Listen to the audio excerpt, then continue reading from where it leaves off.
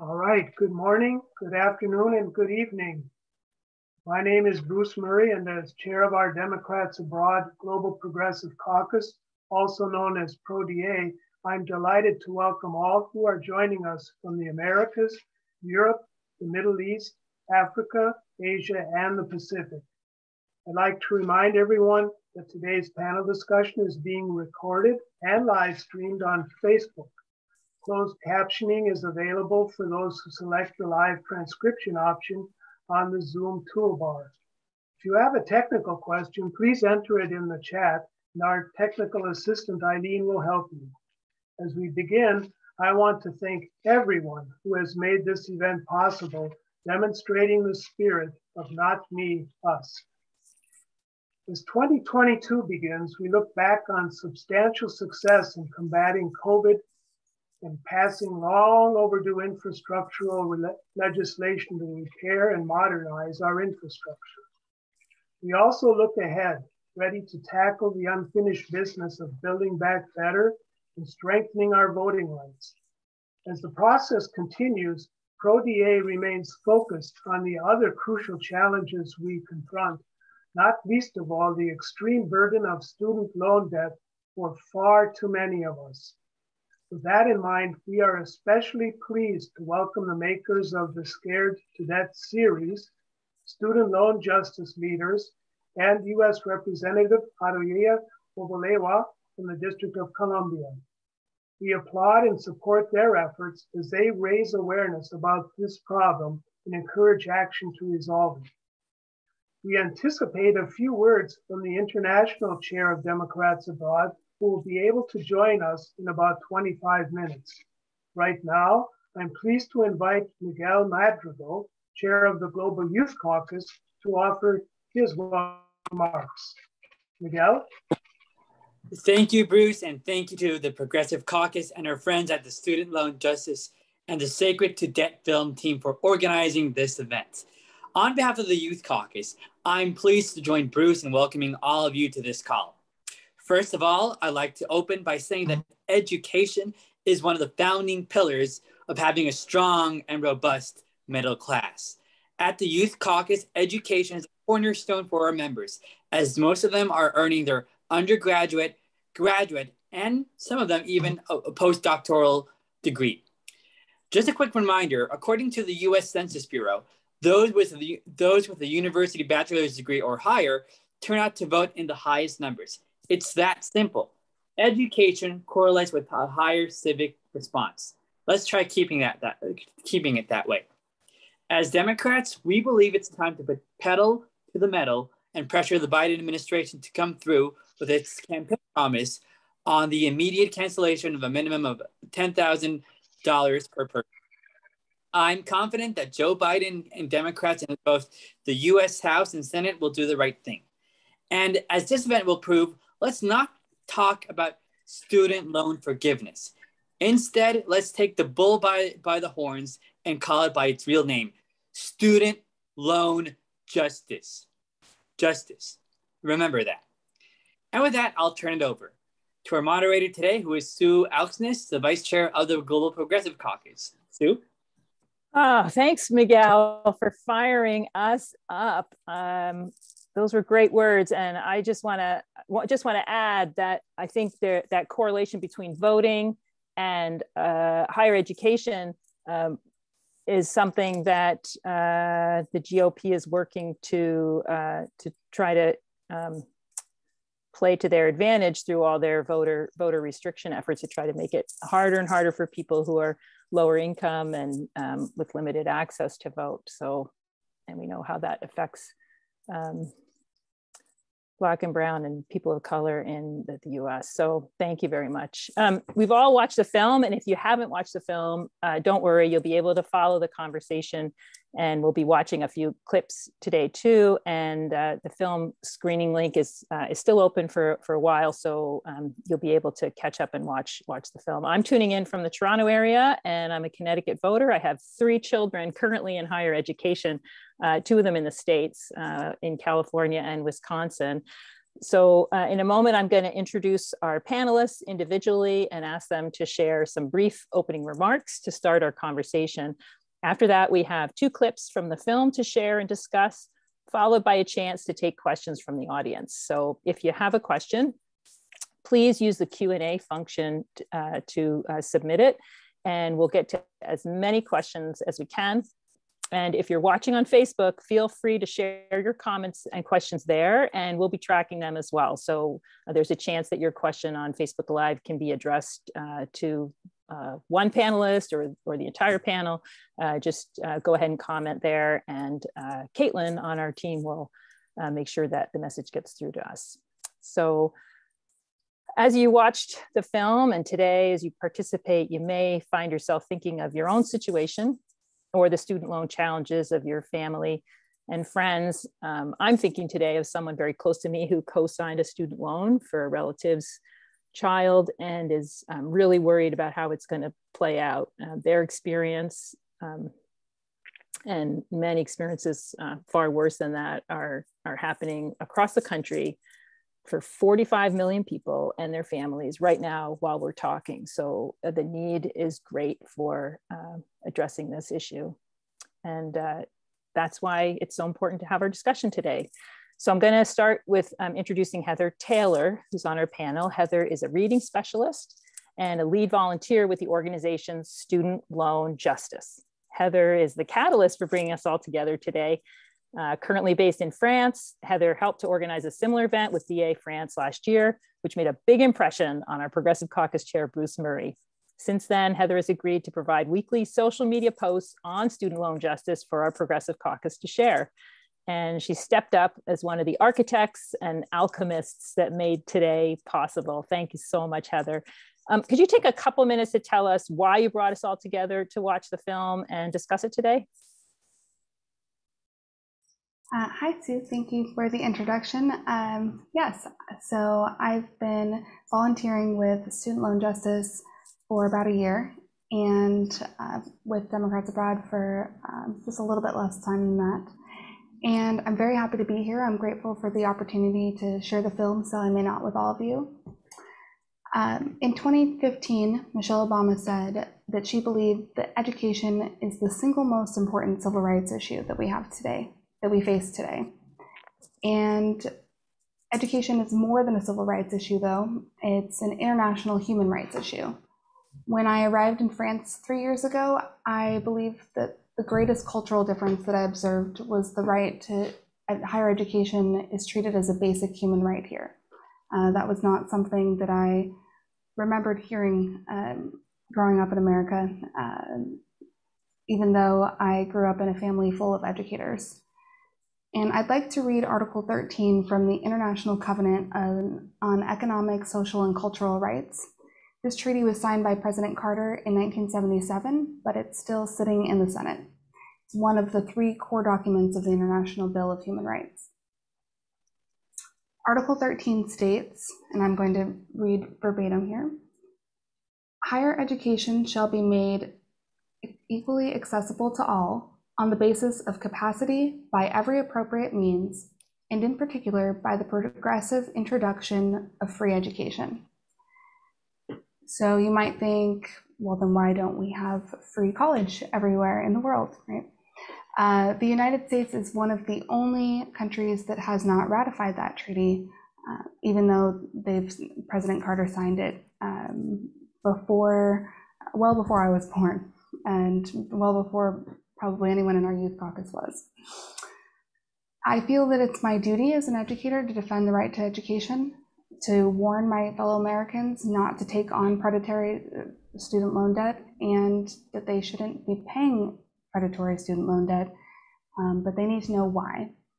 When I became the international chapter leader of Student Loan Justice, I set out to find other student loan borrowers living abroad it can be somewhat isolating to live abroad, especially if you're trying to get involved in political action. And I hoped that we I could find kindred spirits, other borrowers who were struggling, and that we could volunteer together and help lift one each lift one another up.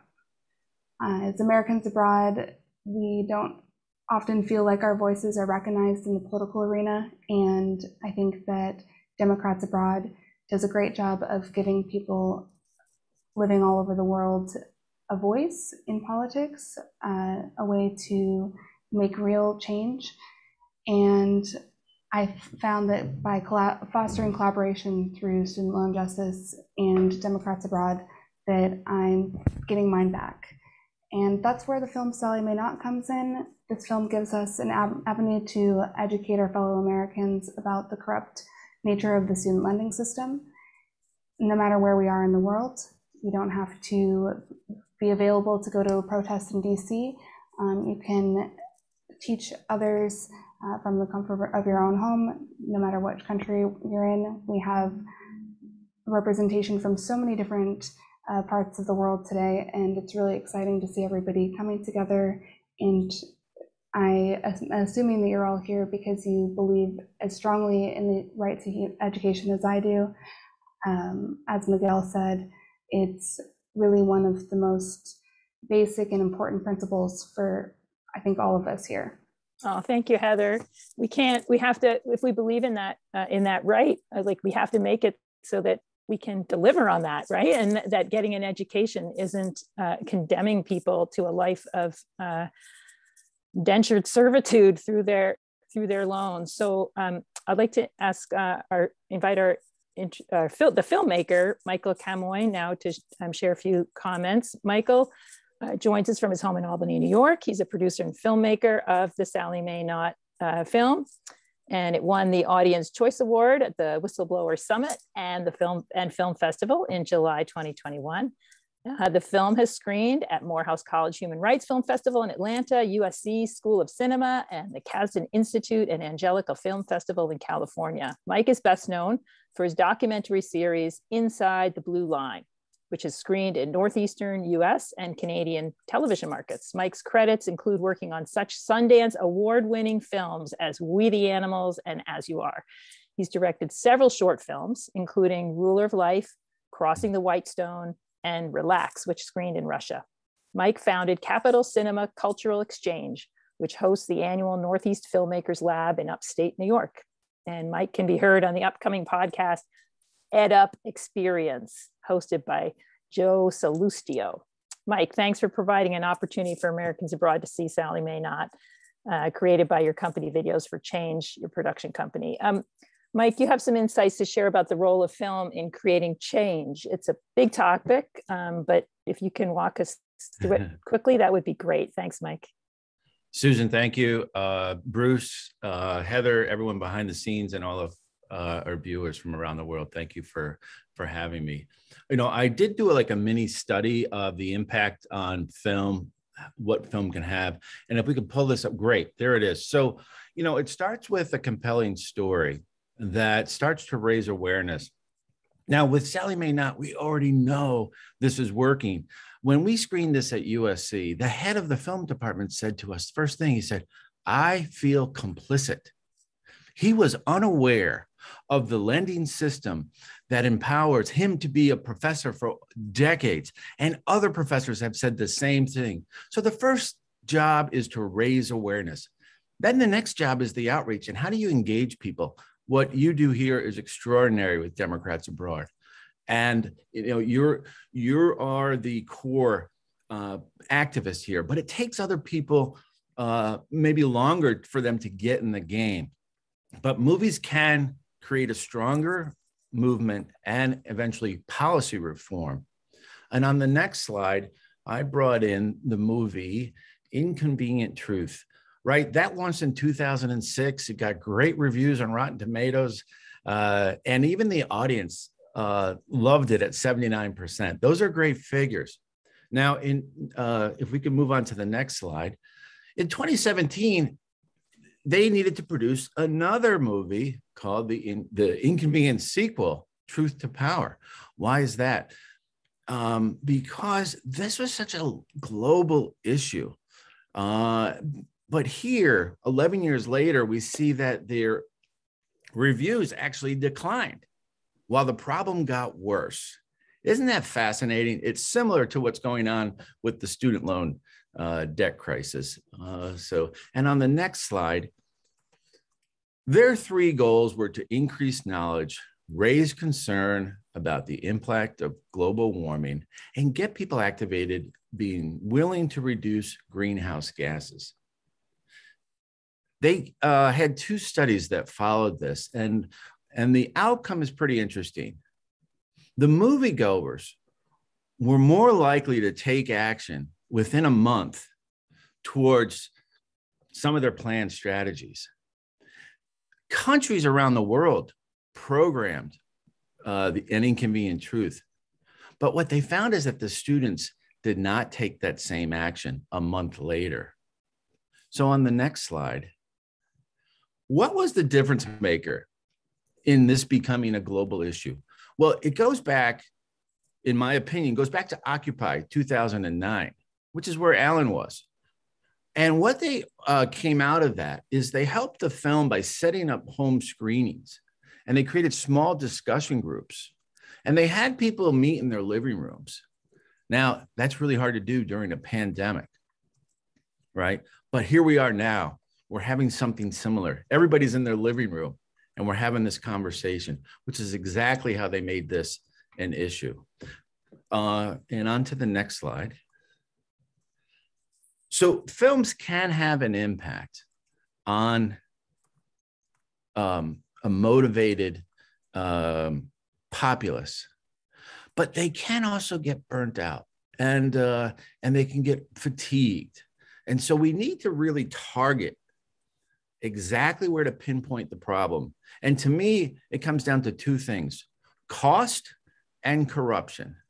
I'll speak a little bit more about those and, and in some of our clips, but I want to just leave you with a quote from Margaret Mead, who founded the Margaret Mead Film Festival as a champion of human rights, who said, Never doubt that a small group of thoughtful, committed citizens can change the world. Indeed, it's the only thing that ever has.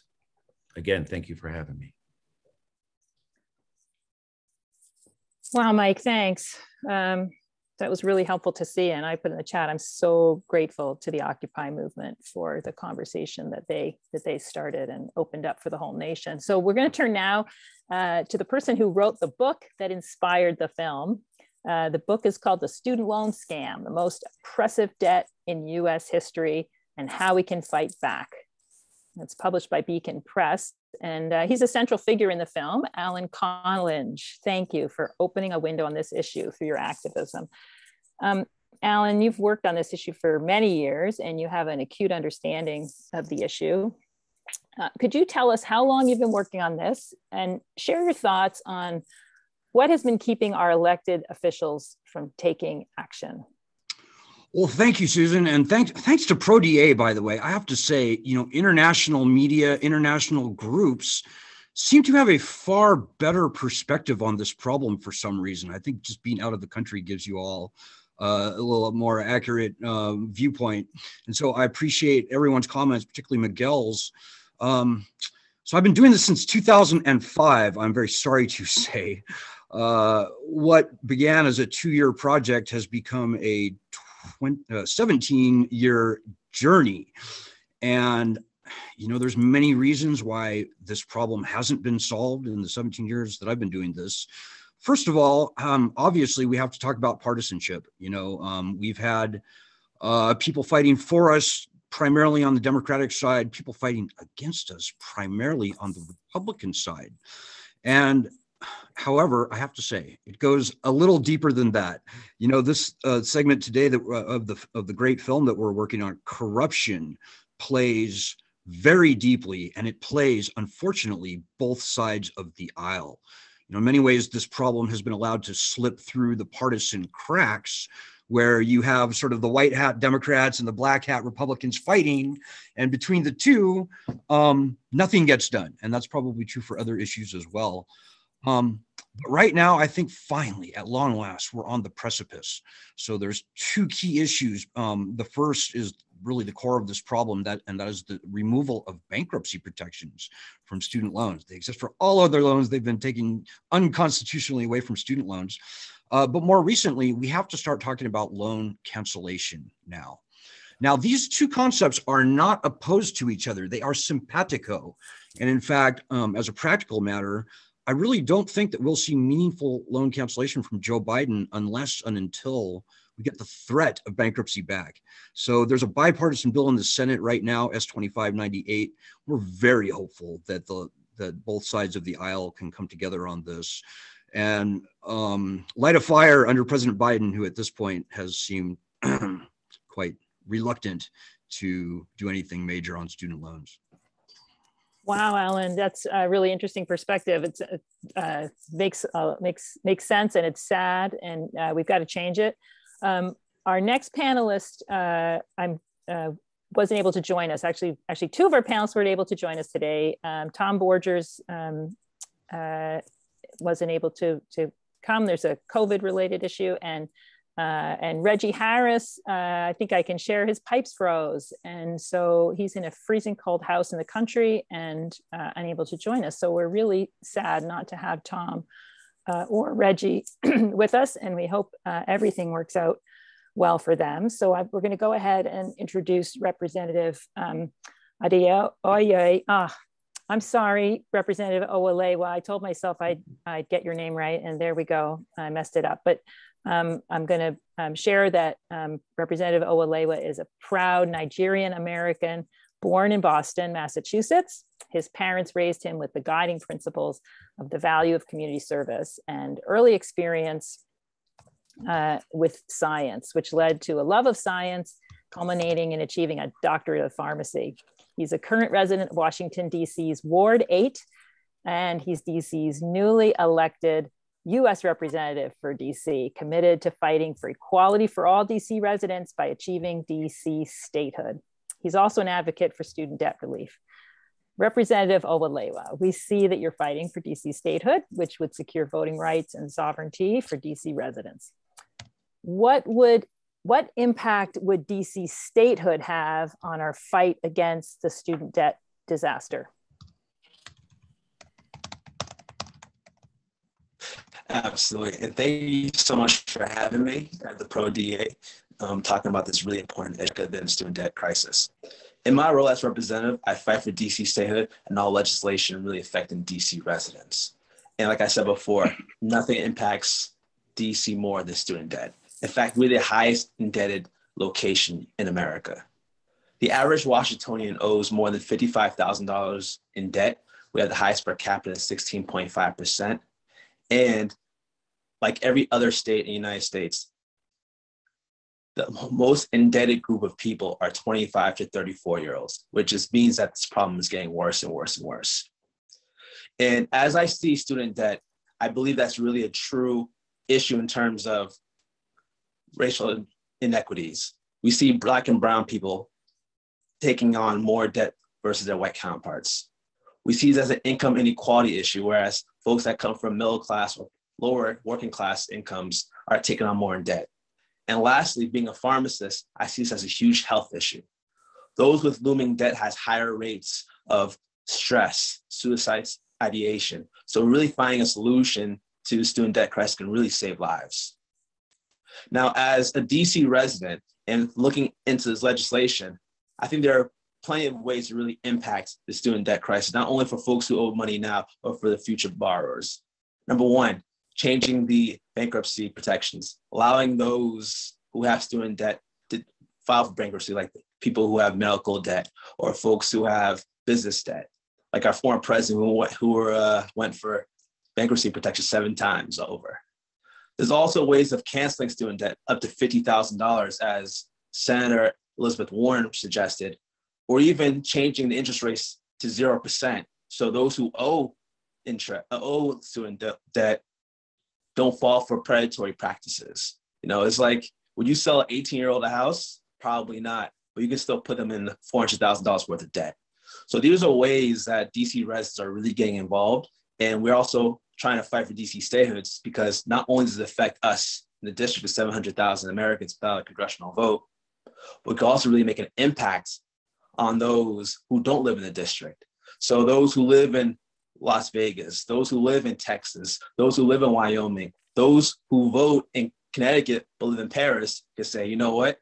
having two more senators and representatives from the District of Columbia can impact my life because we can really support things that even if I live in a red state, I can at least trust the folks in the DC to vote on my perspective. I can't so, wait to I can't wait to welcome you to a panel uh, and say you're from the great state of the District of Columbia. That will be exactly. a wonderful Wonderful exactly. day. Oh my goodness. Wow. Well, we have a few minutes um, before we hear from our international uh, chair. And I'd like to ask Bruce to just jump in and share a little bit about um, the core problems that Democrats abroad and the Progressive Caucus volunteers are working hard to address and how everyone listening today can help. Bruce? Sure, Sue. I think about this a lot, and I know you do too, along with many of our 6,000 Pro DA members and progressives everywhere in the US and abroad. One of our core problems is that current policies just don't work adequately to address the hardships working families face. What we need is a living wage for all, paid family and medical leave, a livable climate, and much more, including, including affordable, accessible higher education that doesn't doom learners to a future enslaved to a growing ball and chain of debt. Look, we know that too many of our representatives don't listen to ordinary Americans enough, that big money corporate lobbyists have too much influence. And yet, like Alan says and Sallie Mae Not, we also know in our hearts that ultimately the people have the power. That's why we stand with Democrats abroad to help ordinary Americans leverage that power. First, Democrats abroad volunteers help Americans overseas to vote. Equally important, DA with its caucuses and task forces helps Americans overseas advocate for the change we need. Through events like this, calls, storms to Washington, and much more. Take a look any day at the DA events offered around the world, and you'll see a global mobilization of people power to meet our most urgent needs. Even with our volunteer energy, there are real costs to achieve results. Those costs are associated with all the tools we use to get out the vote, raise awareness, about the issues we face and provide options to take action in support of real solutions that benefit us all. As I said at the outset, we believe in not me, us. Many of us likely recall the source of that mantra in a campaign for which the average donation was $27. Well, we have a slightly different approach with a similar goal. Anyone who can donate today will be helping Americans to exercise their crucial right to vote, be better informed when casting their ballots and ready to take action, and have their gift matched by a DA member in Asia Pacific. For a limited time, every donation via ProDA's donation page will be matched until we reach a total of $2,500 donated.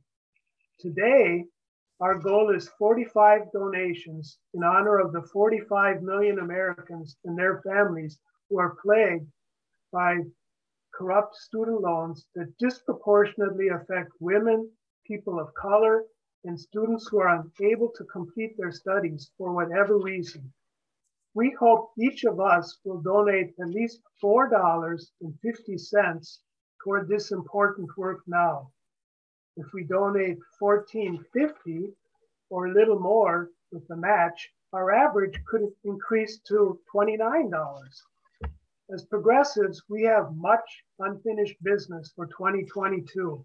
Thank you for your donations and thank you to our matching gift donor. Thank you, Bruce. Oh, oops.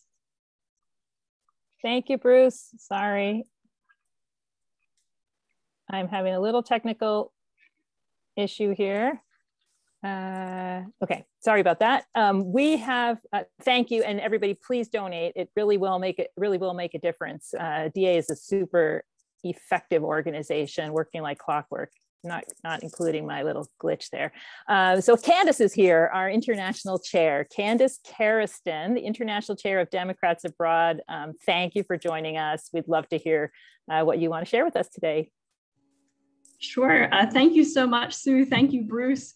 Uh, really to everyone involved with this event, from the Progressive Caucus to the Global Youth Caucus, our friends at Student Loan Justice, and last but not least, the Scared to Debt film team uh, for putting together this event, and to all of you for joining us tonight uh, or this morning, wherever you are in the world. Very excited to have you here.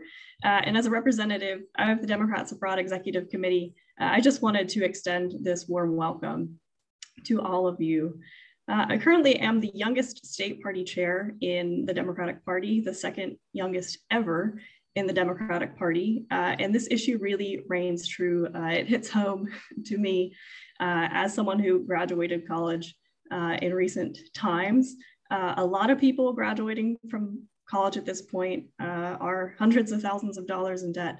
I have friends who cannot live the life that you would think after having attended school uh, because they are so plagued by their student loan debt. Uh, so this really is an issue, as all of you know, that is really challenging for people, uh, the under 35s in particular. As you know, we are facing quite a few challenges this year, especially as Corona continues, uh, especially as issues like student loan uh, repayment continue. I just wanted to assure you of one thing, and that is that Democrats stateside, despite what you might be feeling, hearing uh, in the news, uh, are working around the clock, as Sue said. We are here too at Democrats Abroad. Uh, our colleagues in Washington, in state capitals around the country, we are working to deliver and make a real difference in the lives of everyday Americans like you and me. As I already said, for too many Americans, the burden of student debt postpones and obstructs them from achieving their dreams. During this election year, I encourage everyone to learn about the candidates and find those who align with you and your values and your aspirations for America. I urge you, especially if you are one of our uh, overseas voters, to go to votefromabroad.org right now, fill out your ballot. You'll get it for all 2022 elections. There are some very exciting primary races coming up uh, in the first and second quarter of 2022. And this is really your chance to determine uh, again, who's going to face off against Republicans? This is about the future of the Democratic Party, uh, and this is your opportunity to make your voice heard.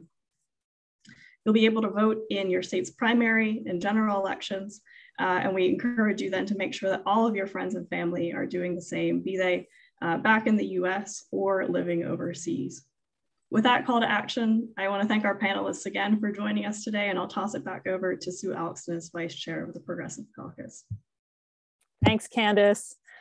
Ah, good words to fire us up, get us going. So we're gonna uh, take a look at a clip now.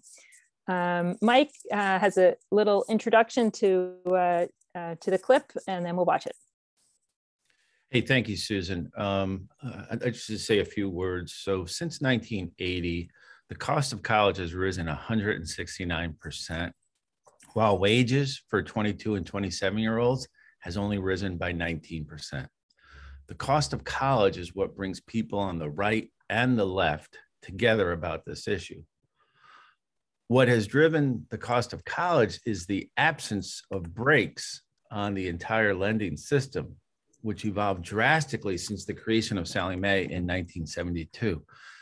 And in this scene, the subjects speak to where Heather began and Alan takes us. Who is accountable? Who's culpable, complicit in removing these brakes and leading to the soaring cost of college, which Representative Owolewa reminds us this now impacts our health. Please roll the clip. That building behind us built this bubble. They inflated this debt balloon and they need to take responsibility for it. And that's why we're here. The founders of this country knew what it was like to have extraordinary debt, which they had from England at the time. And they wanted to make sure that the people didn't end up in a debtor's prison for the rest of their lives. The people of this country hold all the gold. I mean, really, we hold almost all the power. And it's a matter of exercising that power. I believe that the student debt is at a point where soon it will falter it, it impacts the entire path of their economic life. Do you see this as a macroeconomic risk? As this goes on and as student loan continues to grow and becomes larger and larger, then it absolutely could hold back growth. It's there. We haven't done anything about it. It's just a festering wound waiting to be cured by a scalpel. I think alone among all kinds of debt, uh, we don't allow student loan debt to be discharged in bankruptcy. I'm, I'd be at a loss to, to explain why that should be the case.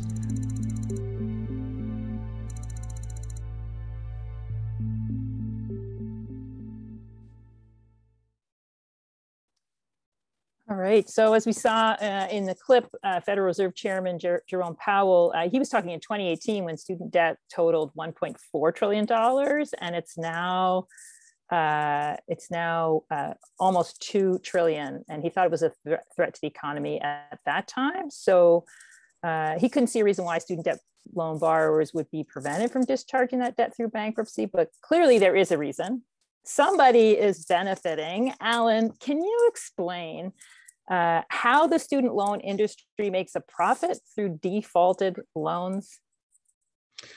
You know, that is the perfect question. You know, uh, w- even without defaults, you know, $100 billion a year clicks off in interest alone on this debt. This is a lending system that uh, President LBJ declared would be free of interest back in 1965. But even aside from all that, in the absence of bankruptcy protections, in the absence of statutes of limitations, uh, fair debt collection practices uh, restricted, truth in lending not there for federal student loans, it turns out that defaulted loans become more profitable than loans that remain in good stead. And you know, a credit card company is uh, thrilled if they make back 10 cents on the dollar on a defaulted account. Well, the lending industry can make many times more than the original uh, loan for defaulted student loans. And in fact, many years of White House budget data show that even the Department of Education makes more, they, they bring in more money on a defaulted loan than they pay out. So even the federal uh, Department of Education is turning a not insignificant profit on defaulted loans. Wait, but how? But how? Well, when you take bank, when you take bankruptcy away, it's essentially a license to steal. When you take statutes of limitations away, you can follow the borrowers for the rest of their lives. So, uh, like one person I talked to this morning, she originally borrowed $26,000. She fell into default and then she rehabilitated her loans and she did everything they told her to do.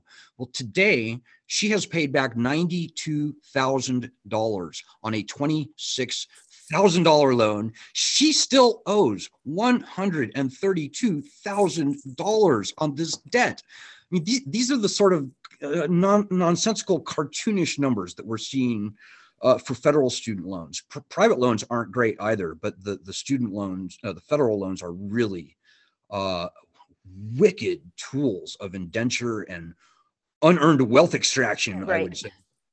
Okay, and and um, Alan, I just want to ask you also about the constit the Constitution. So, um, someone uh, Betsy Atori shared with us this question um, that she says in Article One, Section Eight of the Constitution, in, estab- in a section establishing bankruptcy laws for debtors. It says we're establishing bankruptcy laws for debtors, not for loaners, but lenders, but for debtors. Um, uh, it states that uh, that to establish a uniform rule of naturalization and uniform laws on the subject of bankruptcy throughout the United States. And Betsy's asking, could we consider that removing bankruptcy protection for student loans is somehow unconstitutional, which you said in your introductory comments, Alan, that it is unconstitutional. Um, for instance, if bankruptcy is a constitutional right for the protection protection of debtors, can you can you explain the constitutional right? Bankruptcy is absolutely a constitutional right. The founding fathers themselves were being savaged under debt to British banks and merchants. So it should come as no surprise that they called for uniform bankruptcy laws ahead of the power to declare war, ahead of the power to raise an army. Uh, and here today, uh, federal student loans and private student loans are the only type of loan in our nation's history to be uniquely stripped of this protection. You know, we're also guaranteed equal protection under the law. And tell me why, and Jerome Powell would agree with me, tell me why student loan borrow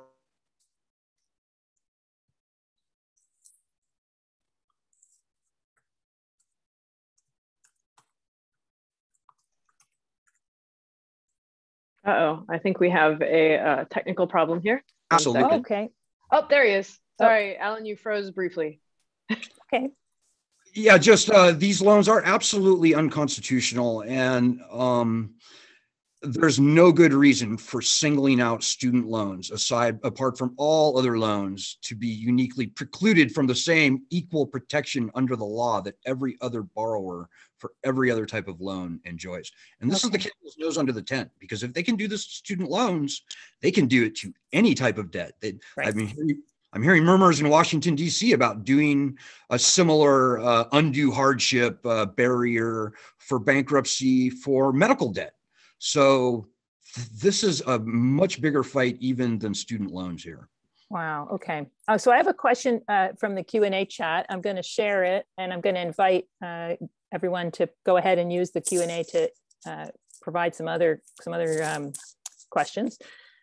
And I'm going to open this up to the panel. Uh, so uh, you know, let us know if you you have an answer. Um, the question is, why hasn't there been more groups pushing for bankruptcy protection? And the bills S 2598 and HR 4907 which address private student loan bankruptcy protection along with full debt cancellation. In any case, we need to make S2598 viral like a hashtag uh, S2598 fresh start or HR 4907 private student loan. So um, any of our panelists want to jump in on this? I think you could uh, unmute and turn on your camera and we'll see if we have dueling mics going.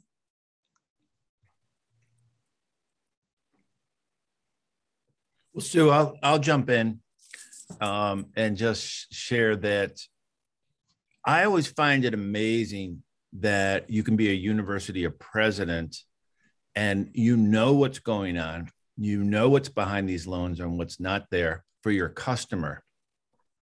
But when Sallie Mae was set up by Albert Lord, he said, the students aren't my customer. The universities are my customer. They're in it to make money. And the professors that are learning about this may ultimately be able to put some pressure on their school board, their trustees. But up until this point, they haven't acted because they are so built into the system and they need this every September and January for these loan payments to come and fuel their school and their which has risen so dramatically. So there's one group that we find uh, as part of the the complicit and culprit groups that haven't spoken, and they should be speaking up for uh, this new legislation to protect their primary customer, which is the students.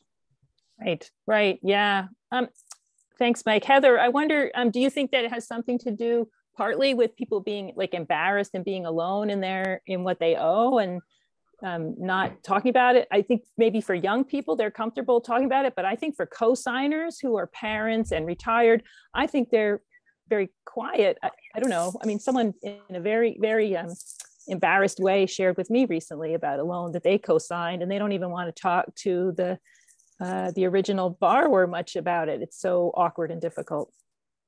Yeah, I think that there is a lot of shame around having student loan debt. Um, if you spend any time on social media, you'll see uh, student borrowers being vilified and told just pay back your debts. Um, you shouldn't have taken out debt that you couldn't afford.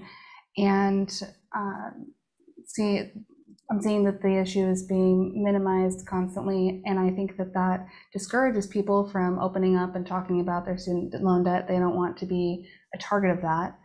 Um, as far as the Senate Bill 2598 and the House Bill 4907. I have not seen other organizations fighting for these bills uh, other than student loan justice. However, those are uh, S2598 is a bipartisan effort. So we have Senator Dick Durbin from Illinois, Democrat, as a co-sponsor, uh, joined by Senator Cornyn from Texas, Republican. So I think that that's a great place to start some bipartisan conversations, maybe heal, start healing some divisions uh, to stand behind bills that will help all of us. Yeah. Well, um, Heather, you mentioned that, uh, and I'll open this up to everybody, but uh, I think uh, Alan and others might have ideas, but um, you mentioned uh, in your opening comments, like don't, you know, if you if you're going to school, don't fall prey to to um, to these unfair unfair loans. And we have a question in the chat that says uh, from uh, Laura from uh, Laura. Currently, for today's students, before changes can be made, so in the current situation, what we, what we have going on now, what alternative does an aspiring student have aside from these predatory loans?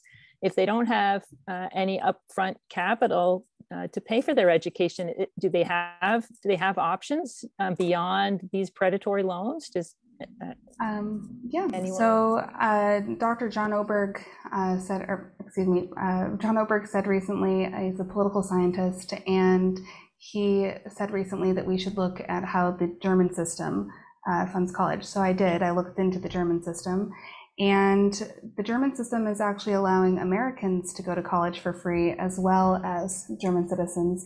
That used to be true in many other countries in the EU.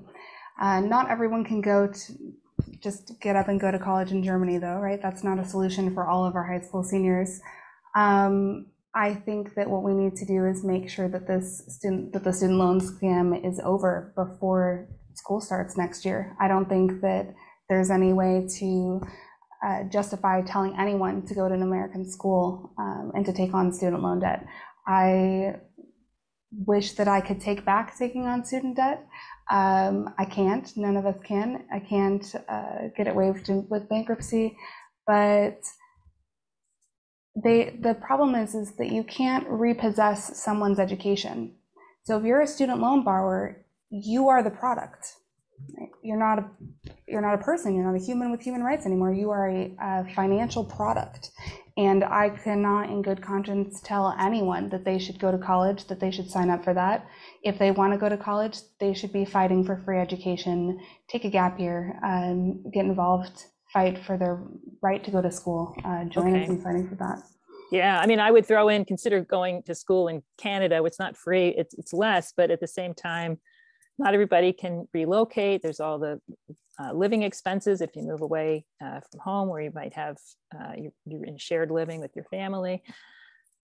Uh, and we have a comment in the chat that they have Canadian student debt, and so do my kids. So um, for sure, there's there's an issue uh, here as well. So all right, we're going to look at another clip. Uh, keep oh. the questions coming coming in. Um, we've got folks working on on those questions, and um, we'll get them to the panelists. So, um, Mike, can you cue up the next clip for us? Sure, Susan. Um, this is such a vibrant conversation. I'm I'm honored to be here. Um, you know, I want to just go back in time. In 1971, Lewis Powell addressed the U.S. Chamber of Commerce in what today is now known as the Powell Memo. And I learned this from Alan early on. It was in Powell's address that he attacks the far left, the media, and liberal universities for corrupting American students who challenge our corporations, our US, and, and this challenge was costing US corporations too much money. It's interesting because Powell was a registered Democrat and uh, went on as associate Supreme Court justice and wrote this, and he won people over. In the in the memo, he targets the clean-cut, well-spoken, Harvard-educated Ralph Nader, who goes on to become America's greatest consumer advocate. Less than a year later, in 1972, Sallie Mae is created, which privatizes the lending system, goes for profit, removes consumer protections, ultimately leading to skyrocketing costs and indenturing students, particularly women and people of color. They knew what they were doing. And unfortunately, I believe Lewis Powell won. Let's roll the clip.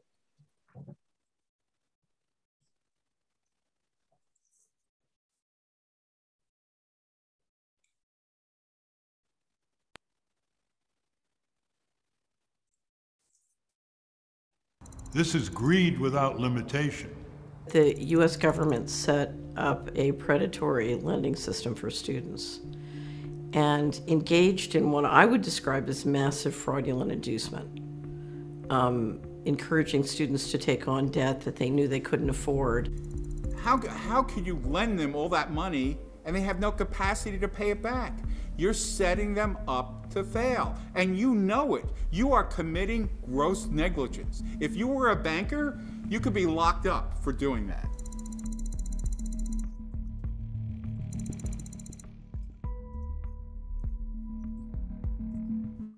All right, so um, sorry Tom isn't with us today because uh, he has a long uh, and uh, impressive uh, resume in uh, in uh,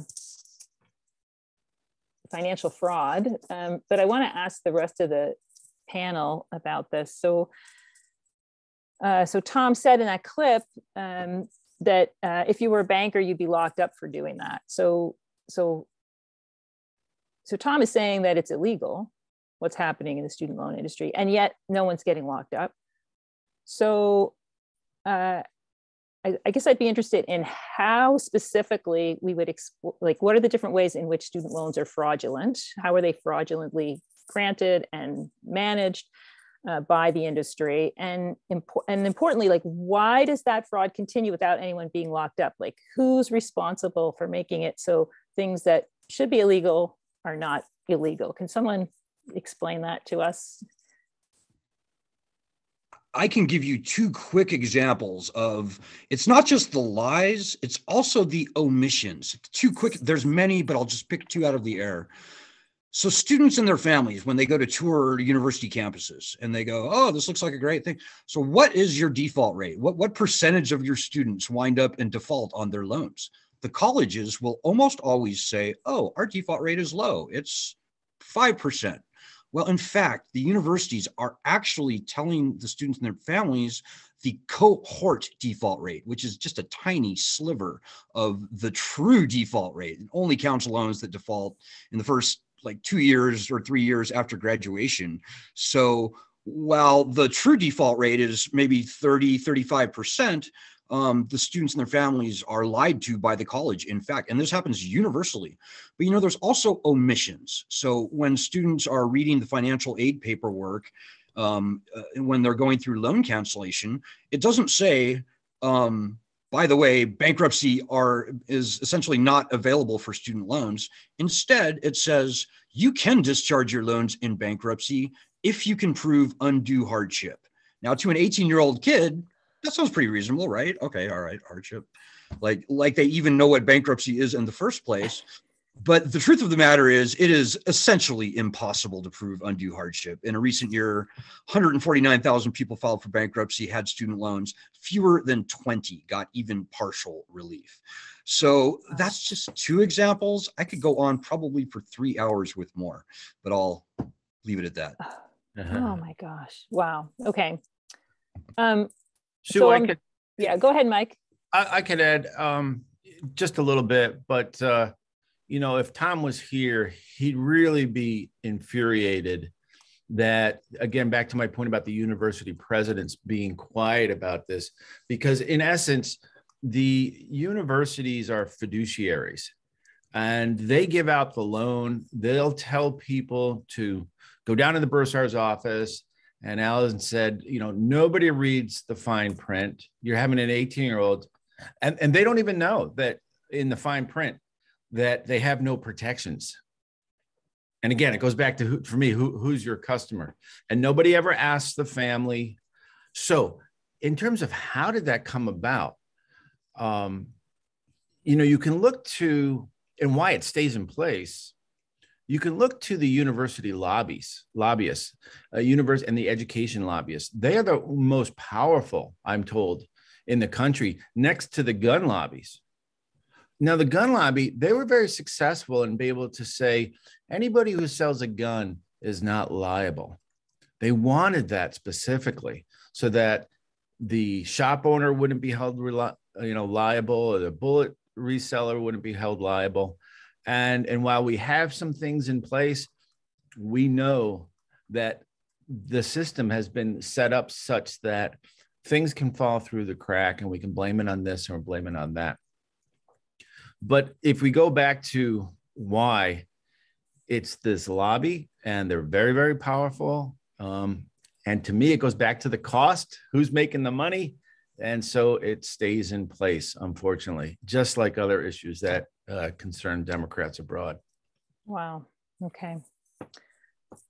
All right. So I'm going to share uh, another question that um, came in from from folks joining us today. Um, RF relates that uh, the problem, he relates the problem to sub the subprime mortgage crisis and saying it's no different than the subprime lending of the 2000s. How many bankers were locked up after 2009? We know the answer to that question. Oh boy, I wish I wish Tom was here because uh, Tom Tom investigated Sue. He was the lead person on the mortgage uh, lending crisis, and uh, yeah, he, he, would be able to answer why nobody uh, was arrested. Yeah, yeah. Does Tom ever say that anybody ever will, or I guess has the boat sailed on that for for subprime mortgages? Oh, I think in terms of that, I think the boat has sailed. Uh, I don't know if uh, the representative has any insights into some of this. Yes, and I'm glad um, you gave me the opportunity. So not only have we seen parallels to the subprime mortgage crisis, where folks who weren't ready to take on large loans were giving large loans, we've also seen similar things with the PPP loans. What was happening was that these banks were trusted to dole out these applications, and they were getting paid by the government to do so but without any real incentive to proofread and make sure these applications were um, pretty much authentic, they were just giving out so much money. And what we're seeing now is that those who are charged with PPP fraud are going to jail, but these banks are still keeping those profits from the fees from the government. So one thing that my office did as a resolution was try to hit these financial institutions with fines. Because when we try to go after people to get them arrested, they say they blame the low level banker. When we try to take them to court, they settle like maybe it just settle pennies of the dollar of what the damage they've they've caused. So I believe that one of the key ways for us to really rein in this behavior is disincentivize these financial institutions for taking advantage of people who just don't know any better. And we're talking about young people. How often do we teach them financial literacy? They know their ABCs, they know their one, two, threes, but they don't know how to balance their budget. So we're really trusting on young people to make life changing decisions. And I don't think the government is on the side of the people to make sure that these young people are really knowing what they're getting themselves into. Right. Yeah. And I've seen some pretty scary data about how this is affecting older people as well, that they're that like the original amount that they were uh, was loaned to them, like Alan's example, like, you know, might be 20,000, 25, 35,000. And then over time they're paying back 100 150,000 like more and more and more and, and they're just continue to um, as they age owe more. And it might be that they've co-signed on a younger person's uh, loan as well. So um, there's a question that's come in from the audience about um, are there any plans to get this documentary on a large platform like netflix? It could sway public opinion if it's seen on a mass scale so what's what's involved in getting more people uh, to see this? I, I, imagine Mike might have something to say, or um... sure. So what it takes um, uh, actually is a couple of things. One is funding. Uh, two, uh, you need to have been in uh, to Netflix or HBO. And if you look at what they're doing, still they're doing more commercial kinds of things. Well, we'd love to be there. Um, I was just talking with one of my colleagues from one of the Sundance films that I I worked on, um, and won some big prizes. He's like, Mike, this is a really hard industry, and you're doing great. You won the Audience Choice Award, um, and you're in other film festivals. That's how it works uh, to start. Hopefully, somebody discovers you and uh, opens that door to uh, Netflix or HBO or somebody somebody independent like that. Corporations tend to shy away from these topics that really do divide people and politically. So, you know, they're going for entertainment for the most part. So it's not impossible. Um, but like Inconvenient Truth, uh, you know, they they started that door to door, setting up screenings in people's homes. So, uh, and then eventually, I think it was on Netflix, but they didn't wait. Uh, they made sure they got it to their audience. They knew the audience would be there oh my gosh, the audience will be there for student loans, like 45 million Americans plus their plus their families. Like the the audience is there, whether it's a documentary or even I don't even know have there even been fictional treatments on a person dealing with student loans? Uh, I don't know. The next question um, we have is uh, from our audiences for um, Representative Owolewa. And the question is if there are any DC initiatives um, that we could adopt as a model for state level remedies? Do other states have good initiatives? Are there are there things that can happen at the state level uh, related to student loans, or are we stuck with the federal approach? Can you share any insights on that? To be honest, I think every measure counts. I mean, right now we're seeing elected officials really taking on um, student justice as a platform. But like I said, the power is with the people. I've knocked on doors in West Virginia. I've got on folks who don't look like me, don't vote like me, to really care about things that affect what's going on. And I believe that's really the way to make that change. I believe that elected officials are often very reactionary. And if they see things online or they see people that's living in their backyard say something, they really start paying attention. One thing we noticed with this pandemic is that the world's a much smaller place. We're now connected with people we've never met before that we'll never see otherwise, or really making sure that our voices are getting out there. We don't have to wait for NBC. We don't have to wait for the big platform to accept us. We can make our own stand. We can have our right. own platform. Anybody else on the plan- panel who um, has thoughts on this? I, I would just echo Representative uh, uh, uh, Owen. I'm sorry, I can't pronounce your last Owolewa. name. Owolewa. Owolewa.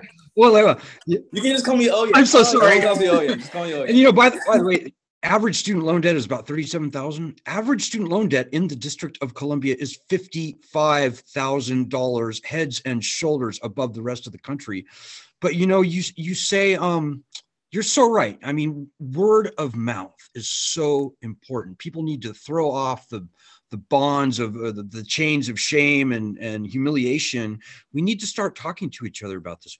45 million people in the country with federal student loans. 40 million of them were probably never going to be able to repay these loans before the pandemic. I mean, 40 million, uh, 40 million voters is the largest untethered voting bloc in certainly my lifetime. So we've got a huge muscle to flex, but people need to get up and get out and don't be ashamed to reach out to others. And, um, you know, let's get together on this. Uh, when when we uh, work together, we can get this done. Uh, thank you, Alan. Um, what do folks think about the uh, electoral chances for Democrats if they take on uh, the student loan uh, corruption scam uh, actively? Will that will that lead to more votes for Democrats, or will that be problematic? What, what do people think? I would just quickly point out Georgia is a perfect example of how the Democrats right now are, are benefiting on this issue. Joe Biden, um, despite his quite frankly backsliding since the election, he was promising bankruptcy. He was promising loan cancellation, and people believed it. And I think that's the only reason that uh, Georgia race was close. Many other Republican uh, red states, um, student loan debt exceeds the entire state budget. So it's not just Georgia; it's North Carolina, South Carolina, Alabama, Texas, uh, Tennessee, many other southern states. Okay, wow. Yeah, so I have a question that uh, Representative Owolewa and maybe others might want to uh, comment on. So it's kind of a two-part question. Um, there's one, one question is around the connection between student loan, uh, the burden of student loans and Medicare for all, and whether uh, this student loan problem is getting in the way of Medicare for all because doctors are so anxious about how much uh, they can they can earn uh, to pay off their loans. And then, and then also a question about um, how historically African Americans were denied access to credit from the 30s to the 70s uh, through the redlining process. And it's interesting to hear that many younger Americans of all backgrounds have been decimated not by denial of credit, but by unfettered access to it at a young age and within a system that essentially forces young people into it. Um, do we think there's a connection of this legacy here, this idea of, of denying credit uh, to um, to Black people, or you know, in these earlier times, and now using credit uh, to take advantage of them. Yes, that's an amazing question, and when we talk about you know folks who are told from a young age to pursue higher education because that'll be our way up and you find out later on that now you're saddled with $100000 of debt that's climbing within every year, it really creates a, a sense of what did I do this for? Or it creates a sense of now I'm stressed out, I want to end my life. In terms of Medicare for all and student debt, I believe that's something you can do both at the same time. if a doctor doesn't have any more debt, then maybe their focus on getting as much money as possible isn't there. And on top of that, on the flip side of you know the universal health care, if you as a pharmacist, if had I known that every single person can be taken care of regardless of price, then my experience would be better. You know, right now with this pandemic, one of the reasons why this vaccine effort has been so successful is because regardless of how much money you make, what insurance you have, whether you're documented or not, you can get vaccinated. If that hmm. could work in the worst of times, then universal healthcare could be a solution, even our most normal of times. Wow. Okay. Thank you. So, oh boy, we still have questions, but we're we're. Uh, I, I, have a question I want to uh, direct to Heather, um, and we'll see if we have more time for questions after this. Although I, am not I'm not sure. We'll see. So, uh, this question, uh, Heather, has to do with the most effective remedy for student loan uh, industry corruption, and how can we uh, how can we make that remedy a reality? What concrete actions can each of us here on the call today and watching the recording? What can we do to contribute to the effort for student loan justice and ending corruption in the student loan industry? Thank you, Sue. Um, I believe we have a slide for this, if we could pull it up, and I can talk through the actions with some visual aids for everyone. Why don't you go ahead, Heather, and get started? And oh, there we go. Excellent. Perfect.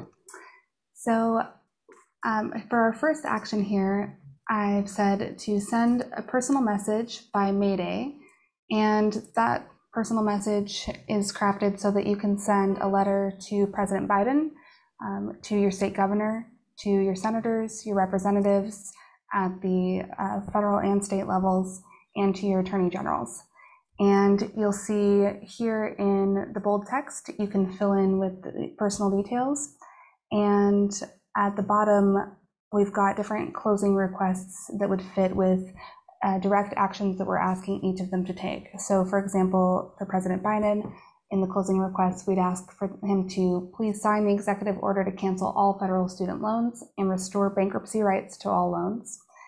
And there are, um, we're asking senators to co-sponsor Bill S5298. And for other representatives, we're asking them to publicly call on President Biden to um, fulfill his campaign promise to cancel student loans, to restore economic justice, it was part of his the Biden plan uh, to build back better by advancing racial equity across the American economy. He had promised to cancel student loan debt for all students who went to public universities, to historically black colleges and universities, uh, yeah, historically black colleges and universities, and minority serving institutions. Um, I'm sure you've all noticed that that's being denied um, in the media constantly that that that that claim was ever made. Many people say he never promised to cancel student debt. Um, he definitely did, and we're asking him to cancel even more than he promised to cancel during his campaign because 10,000, 50,000, 75,000, uh, like Roosevelt uh, Institute recommends in cancellation, won't help the borrowers that are the most disenfranchised. It won't help the people who have $400,000 in student debt. And it won't help us end the student loan scam so that we can move forward and move toward education as a human right for American citizens. Um, so this letter, um, it's in a link that's going to be dropped in the chat for all of you. You can edit it to fit your own voice. And there are clips from the film and a link to forward them to uh, screen the film on show and tell as um, most, many of you all have uh, today. And can we go to the second action? So the second action here is to sign the petition. This is the petition that Alan started. It's um, directed to President Biden to cancel federal student loans and return bankruptcy protections. We have over 1 million petition signers and it's growing all the time. And I find that the petition is the best way to see uh, a concrete example of the talking points of student loan justice, what exactly we're fighting for, and Alan is very good about updating the petition and letting people know what's happening with student loan justice. And then for our third action, watch and share the film uh, before the screening window ends. And we'll have a link in the chat for the petition and for the film as well. And you can see here it's um, on the show and tell website. This was opened up uh, thanks to this joint effort between Democrats Abroad and um, Mike with the film and student loan justice. And sharing the film is going to be, I think, one of the most powerful ways for us to continue to educate people about the student loan industry, about what's happened to student borrowers, why it's happened to them, and once we understand that, we can move forward and fix this. We can move forward and secure education as a human right. Oh, thanks, Heather. Um, I'm going to uh, encourage the panelists to take a look at the open questions we still have in the chat. And if you'd like to type a response to any of them, you can do that either privately to the person who posed the question or, uh, or publicly so that everybody can see the question and the answer, which might be interesting uh, to folks to see. And um, I'm going to suggest that based on uh, Heather's uh, suggestions of actions we can take that um, each of us might think for a minute about um, who we know and what networks are we in that we might share uh, that we might share the film with um, in the time that's left for it to be uh, to be to be watched. Um, I think that ends later today. Um, is there any chance of that being uh, extended, maybe? So um, you know, I saw that there's hundreds of people who had signed up for this, and it it would be really great if we could. Uh, I, and I'll permit leaving the channel open for a couple days. Let's say till Wednesday. Would that help if we added two more uh, days, 48 hours? Well, I think so. I mean, it's up to the folks in the chat. That's amazing, uh, Mike. Uh, so yeah, till Wednesday would be great. That gives us a chance to share a little more actively and um, folks can use the what's in the chat to oh we've got faith saying yes thank you. Okay that's awesome. Uh, in the chat awesome. so You're wonderful. Welcome, and um, yeah so um, i think the link directly to the show and tell um, screening would be the best thing to for people to share now that our panel discussion has taken place. So maybe um, heather or mike you could drop that the link right right in there. And then everybody on the call can say hey until what's what's the cutoff probably Wednesday, sometime Wednesday. Yeah, let's It'll, say midnight, midnight Wednesday. Uh, you know, that gives us two and a half days to yep. get the word out, uh, get these yep. uh, calls to action out. Awesome. Oh, that's fabulous. Thank you so much, Mike. And thank you to hey, everybody Sue, on the call for sharing. I want to, uh, chime in here and say that uh, I think that is awesome too, Mike. Thank you very, very much for that. I'm going to jump in here with one more action. Okay. Uh, to have student loan justice, we need elected representatives up and down the ballot. That's what we've been talking about, who listen and truly represent the best interests and values of us. The Democratic primaries, remember this is a midterm year uh, for 2022, are starting now. First one is in Texas on March 1st. This is our chance to vote our values. We want uh, to encourage everyone to vote and uh, look to see what is going on in your state in congressional districts up and down the ballot. And we encourage you right after this meeting to go to, you've heard this before, go to votefromabroad.org to register to vote and request your ballot. In Texas, it's already getting uh, to be the 11th hour for requesting your ballot because of the way voting is going in Texas right now. And if you vote in Texas or know Texas voters, or even if you don't know Texas voters, still share with your networks. The time is running out to vote from abroad in the Texas primaries. Share broadly uh, the information sheet that uh, we have created for the Texas primaries.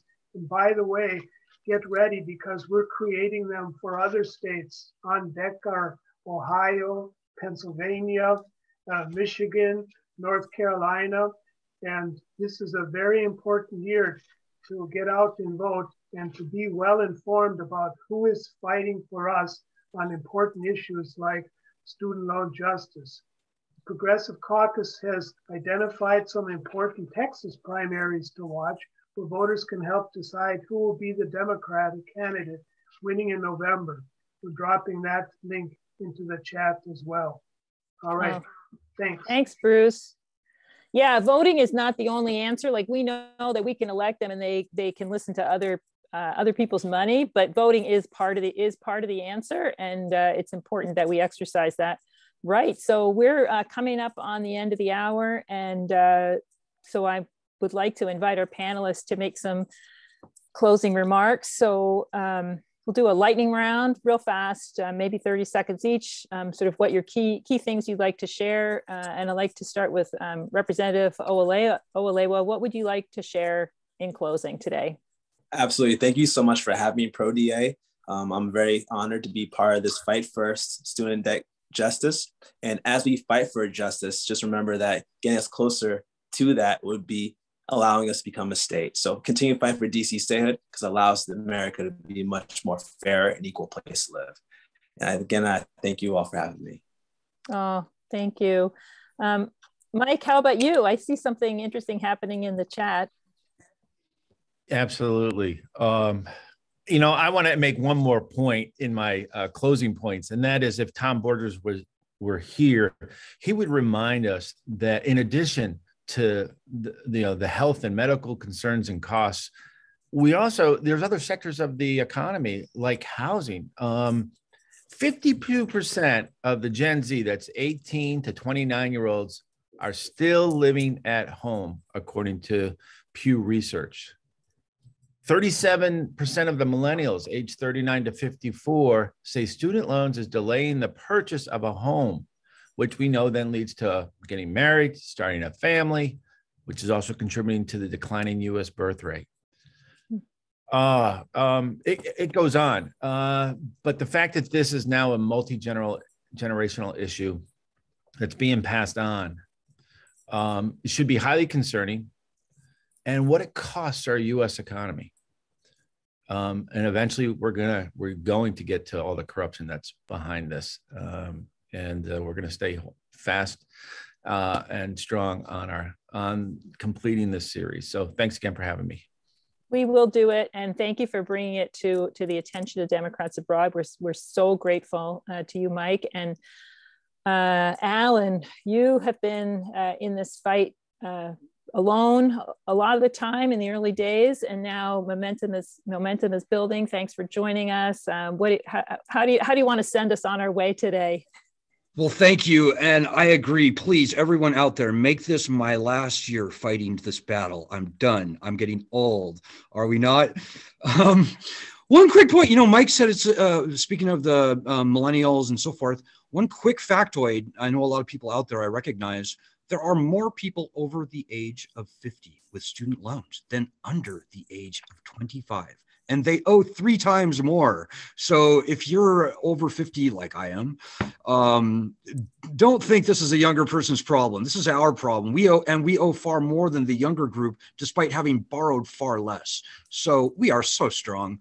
The, the one action item I will tell everybody to do um, call both of your senators and tell them as strongly as possible, particularly if they're Republican, to co sponsor and push for S 2598. And I think that will be the domino that finally solves this problem. Well, the argument for this aligning with conservative values, uh, this reform uh, aligning with conservative values is strong, Alan. And I saw you uh, you ran an article uh, to that effect on the Student Loan Justice uh, website recently. So, uh, if anybody is looking for an opportunity to have a conversation with family and friends who are on the other side of the aisle, this is one where you can find common ground and agree agree about it uh, once they understand the once they understand the facts. So I think there's a really good opportunity uh, opportunity there uh, for us. Um, and it, this also crosses the uh, progressive versus liberal Democrats uh, camps. This is something we can all get behind as Americans. Heather, what about you? Anything? What would you like to share? Um, yeah, I just um, I want to start by just saying that I am really grateful to everybody who worked together to make this event happen today. I hope that uh, anyone who's a student loan borrower who's watching this either live or in the recording uh, feels like they have a little bit of their agency back and that they'll be able to use um, this film to um, spread awareness about the corruption in the lending industry and really start to protect themselves and defend themselves, that we can organize and fight this together. And I'd say if you could um, donate your time, that's the most valuable thing for us with the film and with student loan justice. Um, but if you can't donate your time and you want to donate money either to uh, continuing the into um, continuing the film, uh, we're going to have a series uh, coming from the film, right? So if, if, you want to help fund the series or fund the work we're doing at Student Loan Justice, um, we're all all a volunteer organization at Student Loan Justice. People from both sides of the political spectrum and everywhere in between, um, just working together to fight for students. Thanks, Heather. Miguel, would you like to share some closing comments on behalf of the Youth Caucus? Absolutely. well, thank uh, first of all, thank you, Sue. Uh, to Representative Owolewa, we are so with you. DC statehood now. I've been to DC five times, and the next, I hope that the next time I visit DC, I can call it the state of the Douglas Commonwealth. Let's pass HR 51 and S 51 now. I'd also like to thank Sue, Bruce, the Progressive Caucus, and the members of the Student Loan Justice Team for organizing this great event. Hey, and if you're watching this and you feel as frustrated as, as I am, let's do something about it. Go to democratsabroad.org slash YC and join the Youth Caucus. We welcome you with our arms wide open. Uh, February is just around the corner, and in the spirit of Black History Month, the Youth Caucus and the Black Caucus will have a social media takeover. So if you don't follow us on social media, please look it up. Uh, look us up on Facebook as Democrats Abroad Youth Caucus and on Instagram as at Dems Abroad Youth. Expect expect a lot of events from the Youth Caucus coming uh, towards you for the rest of the year. So stay tuned. And if you have any ideas or suggestions for the Youth Caucus, please contact us via email at youthcaucus at democratsabroad.org. And last but not least, don't forget to register to vote and request an overseas ballot. Thank you so much, everyone. And Bruce, take it away. All right. Thank you, Miguel. And uh, thanks to our co-host, co-sponsors, panelists, audience, and technical support volunteers for what has been an enlightening, provocative, and inspiring event. I know I'm ready now to tackle the unfinished business of student loan justice and commit to taking action right away. I hope you will too. Then please join ProDA this coming Saturday at 2 p.m. Central European Time when we will consider our next steps for all the challenges we confront in this crucial midterm election year. We need your help. Please also join us for our next monthly Mondays for your Progressive Minds event on February 28th at the end of the month when our series leaders, Betsy Atorek and Daniel Stein, will present the forefront fight for voting rights and democracy and lead our discussion. As you will see in the event information dropped in the chat box, they have provided compelling video, book, and article resources for us to prepare for the meeting and to take action. And please help us reach our goal of 45 donations today so that we can continue our work effectively in 2022 and beyond. Remember, your donation will be doubled during our matching campaign. Last but not least, we encourage all to send ideas for our work to proda at democratsabroad.org. If you wish, stick around now for a few minutes to share student loan stories with us via the chat box. And uh, with that, I encourage an end to the recording and thanks